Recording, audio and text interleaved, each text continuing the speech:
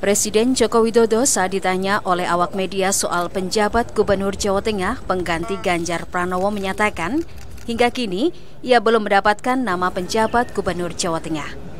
Untuk menetapkan penjabat Gubernur Jawa Tengah harus melalui mekanisme tim penilai akhir. Penggantinya Pak Ganjar penjabat belum, belum, belum masuk ke meja saya. Nanti lewat mekanisme. Ya, belum.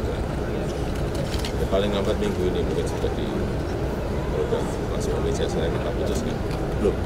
Jadi kalau ditanya siapa, belum tahu.